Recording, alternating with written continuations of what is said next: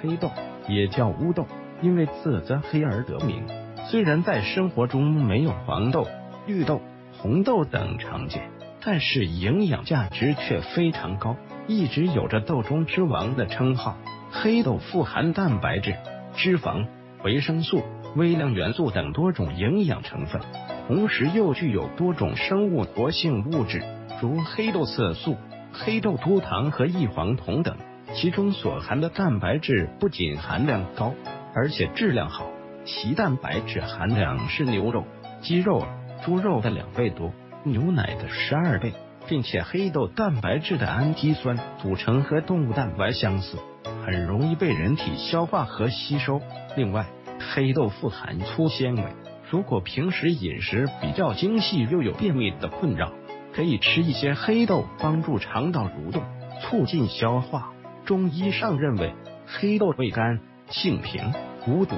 有解表清热、养血平肝、补肾壮筋、补虚黑发之功效，因此居家补肾、乌发食疗、爆炸营养课堂的营养师给大家推荐黑豆。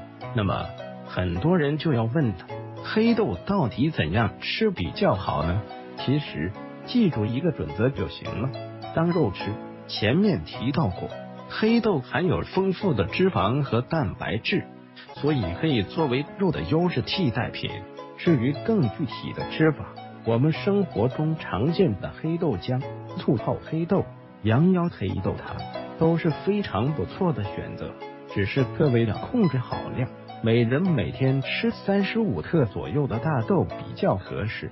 当然，吃黑豆也是存在禁忌的，这里给大家强调三点：一、黑豆不宜生吃。黑豆中含有一种胰蛋白酵素抑制剂，这种物质会妨碍人体对于碘元素的吸收，而想要破坏这种胰蛋白酵素抑制剂，就需要对黑豆进行烹煮，并且黑豆也只有在煮熟煮透之后，它的营养才能全面的释放出来。因此，黑豆不适宜生吃。此外，生吃黑豆很容易引起腹痛、腹泻。二严重肾病的人尽量别吃。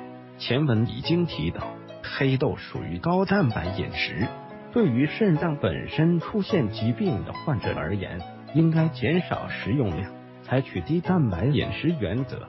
如果肾脏疾病比较严重，尽量遵医嘱。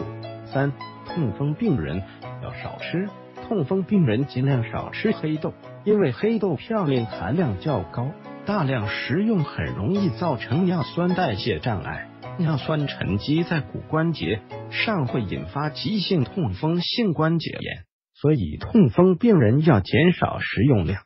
各位朋友，你喜欢吃黑豆吗？除了含黑豆，你还吃过哪些黑色食物？不妨在下方评论区留言，分享你的养生经验。